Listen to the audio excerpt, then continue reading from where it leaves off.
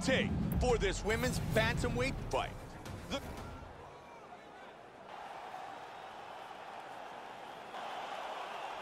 Blood, Ready to fight? the Cobra. Ready.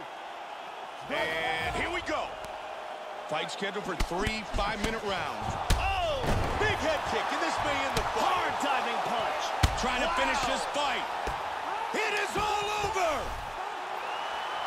Beautiful KO for the victory early in the first.